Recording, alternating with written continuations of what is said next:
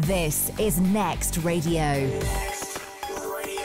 With Broadcast Bionics, innovative solutions for creative people. Please welcome Helen Arney. Thank you very much indeed.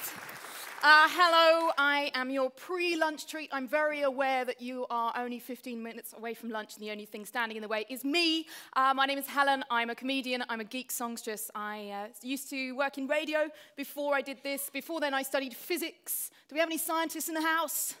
Yeah? Just someone from the RI there. That's not a problem. Uh, and if I do that, do we get any more? Any more? Any, just, if you, just anyone who's recently seen an episode of Doctor Who. That's all I want from you, all right? Because if you watch enough Doctor Who, you get a degree. You are aware of that.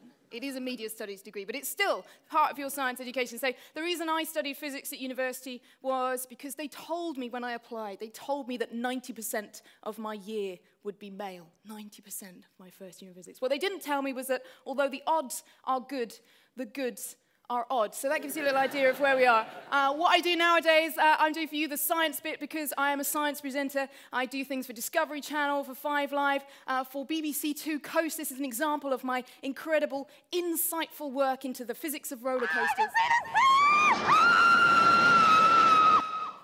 followed very shortly by a, uh, a, science experiment into what I had for breakfast that morning.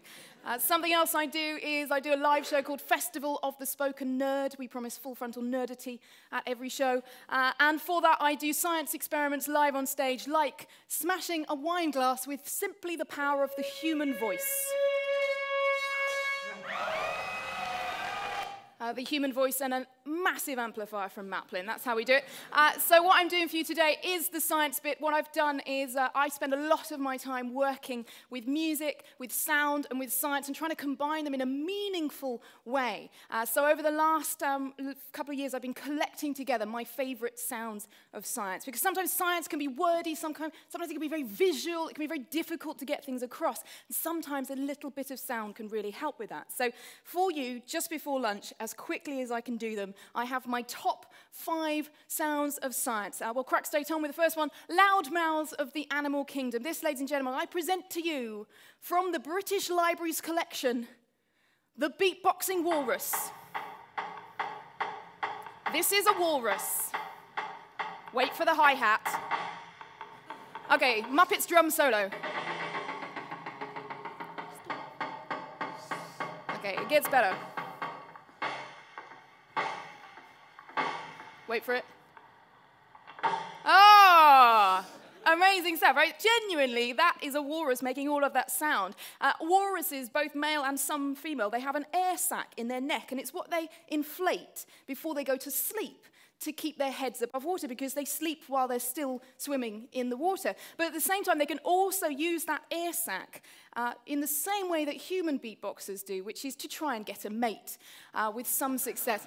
Uh, so, genuinely, they use their air sac to create beatboxing noises which can travel for miles underwater. They literally use their air sacs to attempt to hit the sac with some walrus tails. So, uh, that's, uh, um, there's another animal that's a loudmouth I wanted to mention, which is the uh, killer whales and pilot whales. You might already know that they create these beautiful songs that can be heard from miles around. They use them in quite complex ways to communicate things to each other. What you might not know is that different whales in different parts of the ocean have different regional accents. Yes, it's not just humans and local news presenters that have regional accents, it is also whales. And the reason we know this is because uh, there's been an incredible project online which is called something called citizen science, which means anyone can get involved in this. They get amateur scientists, no science qualifications. I mean, you guys are literally perfect for this, uh, to listen to hours and hours of whale song and try and identify patterns between whale songs that they already know that have been made by whales that they already are aware of and have tagged. So you do this, you, uh, you look at a whale song, you listen to it, you try and match it to some whale songs they already know, and finding those patterns, you can uh, find the different accents and the different whales and where they're from and who they're related to and, and their kind of tribes. So uh, I've got a couple of these uh, to play to you. Here we go. Right? That, one's, that one is saying, Oh, I didn't get Kate Bush tickets.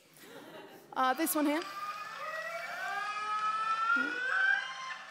That's not actually a whale, that's the next band playing on the BBC introducing stage. Uh, and this final one here.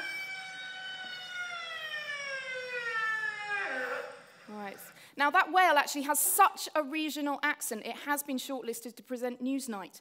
Uh, so we're moving on to uh, how people get hooked on music. Now, I write songs about music. That's part of what I do. I write science songs. I'm always trying to find more scientific ways to make my songs stick in other people's head. What is it about songs that makes you remember the chorus, makes them catchy, makes them hooky, makes you do things like, I just called to say. I literally just wanted you to say that. Thank you. Um, uh, so, uh, and things like if I say, I'll tell you what I want, what I really, really want. Yeah, exactly, yeah.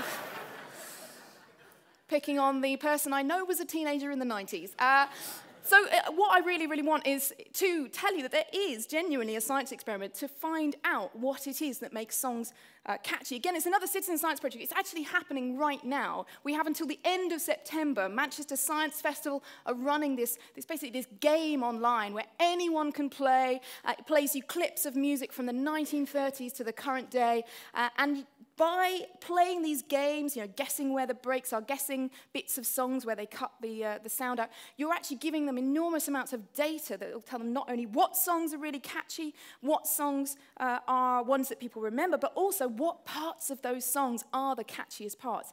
Uh, so far, about 10,000 people have taken part in this, and they're still looking for as much data as they can get before the end of September, before they announce the results of the Manchester Science Festival in October. Uh, the results, I've seen the preliminary results results. I cannot reveal uh, anything about them, but uh, I can tell you there's some very surprising things. In terms of catchiness, Shakira's hips do lie. Uh, and they also did this experiment in, uh, the, uh, in the Netherlands, where they did something with a smaller group of people, but again, European pop music from all over Europe, things that were popular in the Netherlands. Uh, it turns out the most popular catchy song for people of the Netherlands is the Spice Girls Wannabe. Genuinely, that is true. Look, this is science, this is not about taste, this is, this is the fact. Uh, so what I wanted to do is prove to you that you can make a hook out of pretty much anything. Uh, Diana Deutsch, who's a Californian uh, psychology and music researcher, has uh, made these incredible audio files, which I want to use now to prove to you that anything can become a hook. A hook is uh, like a bit of a song that gets repeated loads, and there's a school of thought that if you get something that's sort of uh, got the right ingredients to be a hook and you just repeat it as many times as you can, you will create a hook. And this is a little bit of science proof that. So just have a listen to this sentence and see if there's anything the sounds extraordinary as they appear it. to you are not only different from those that are really present, but they sometimes behave so strangely as to seem quite impossible. Okay. Anything extraordinary about that sentence?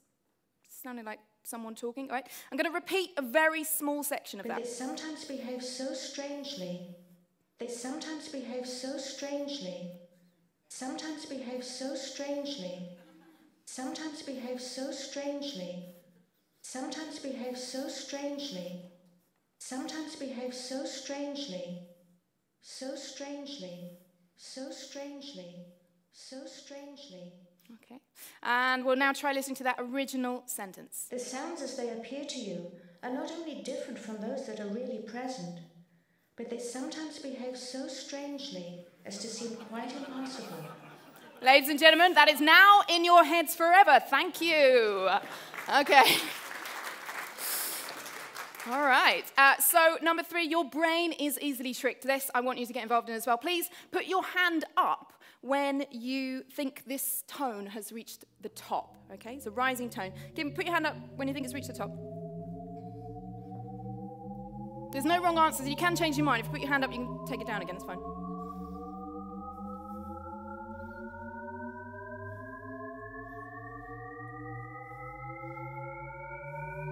Okay, it's getting really creepy now, right?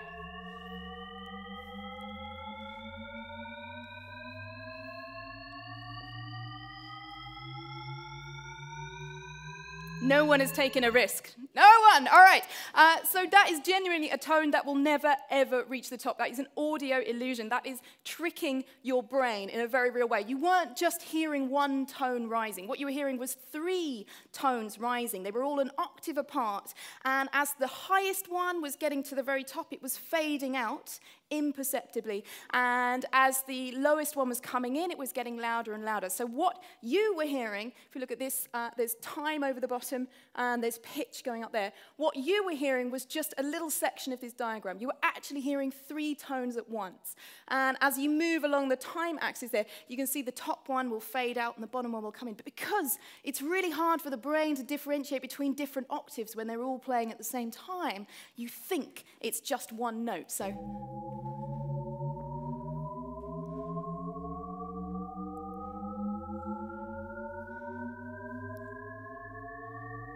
Pretty creepy.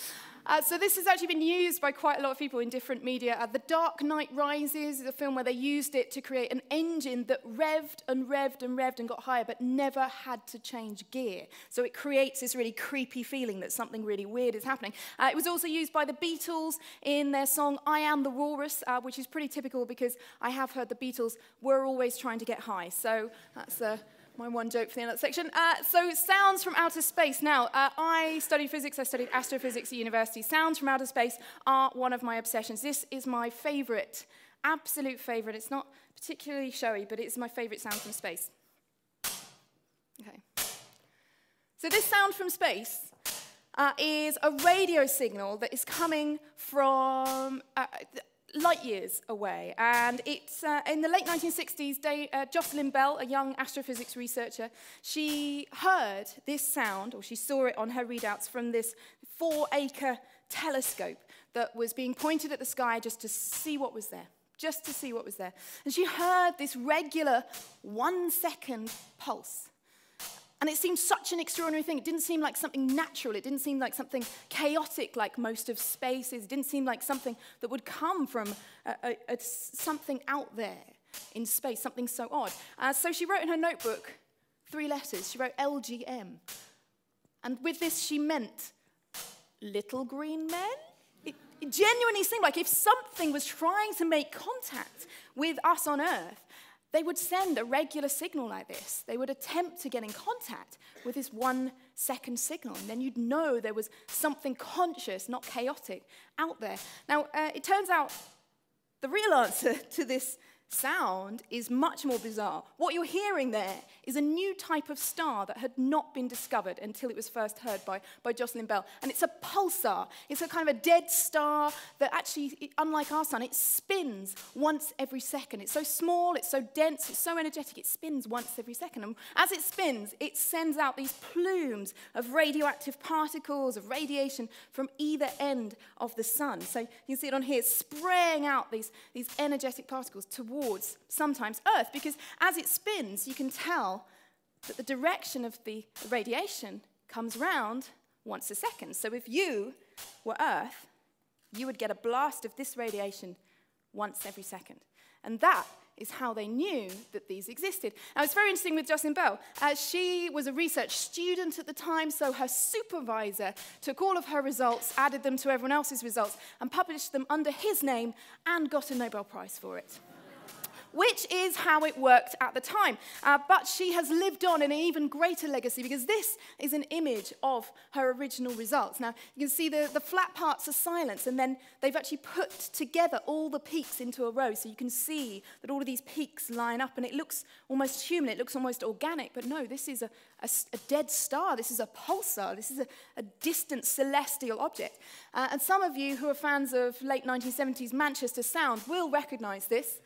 Okay, so this is how Dame Jocelyn Bell has been remembered in history. Uh, through Joy Division's Unknown Pleasures artwork, morose teenagers throughout history and into the future will be wearing Dame Jocelyn Bell's original artwork, uh, should I say science data, uh, at the same time. Now, uh, there's one last thing I want to do before I get to number one. Uh, there is actually a way that you all can hear sounds from space uh, just at home. Uh, what you need to do is find, if you can possibly, an FM radio in your house. Pretty sure you're all over on DAB now, as is the way. But if you can find an FM radio and you can detune it, so it's between stations. I mean, this is exactly the opposite of what any of you are supposed to be doing, but detune an FM radio. Uh, and 1% of that noise that you get from a detuned radio, 1% of that noise is the remnants of the Big Bang. 13.75 billion years ago, that energy, that is creating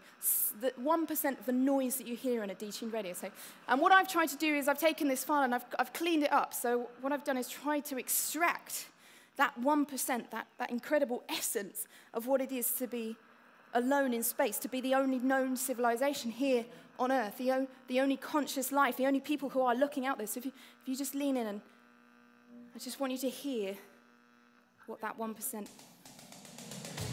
Thank you very much. Right. Guys, you were all doing it uh, in the late 2000s, so it's my revenge now. Uh, so, all right, one final thing, one final thing I want to do. I write songs about science, so this is my regular, my normal preferred way of combining songs and science. Uh, I've written for you, ladies and gentlemen, uh, it is a love song from the future.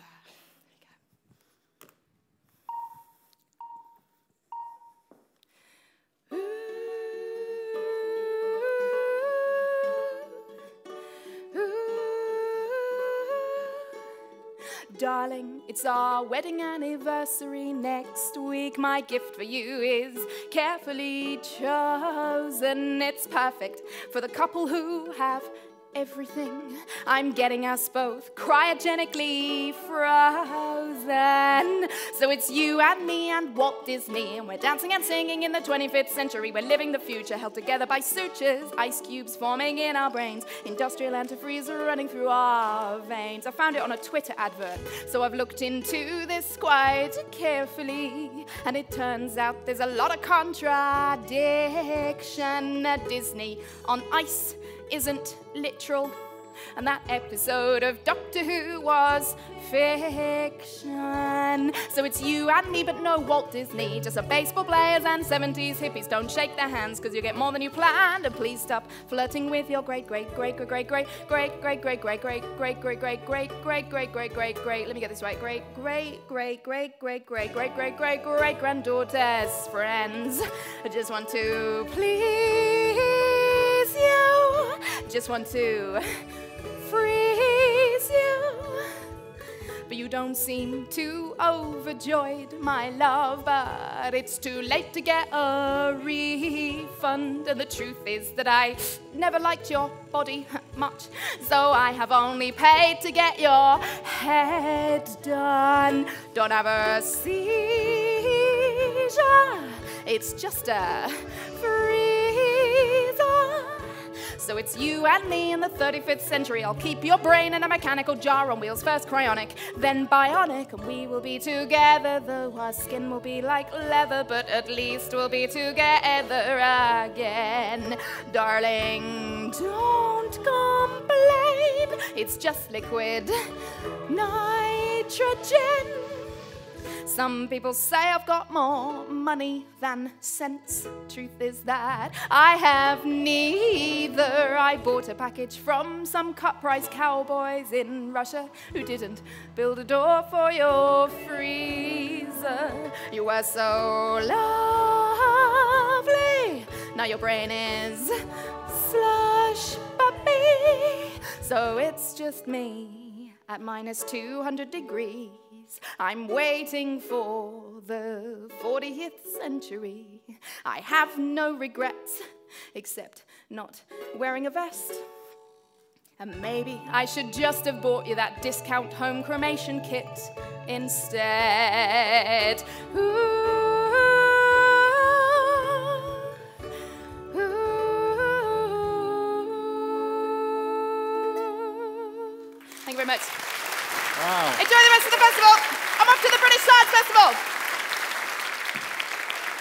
Helen Arney. Helen Arney. This is Next Radio. With Broadcast Bionics, innovative solutions for creative people.